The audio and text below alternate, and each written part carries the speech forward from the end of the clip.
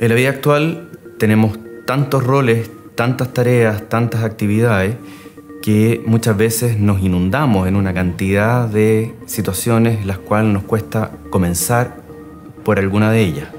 Debido a esta dificultad de priorización, vamos postergando, vamos dejando para después, tendemos a realizar las tareas que son más placenteras y a ir dejando para el último lugar aquellas que son más complicadas o las cuales tenemos menos recursos. Muchas veces esas decisiones es tanto las que las dilatamos que nunca llegamos a tomarlas.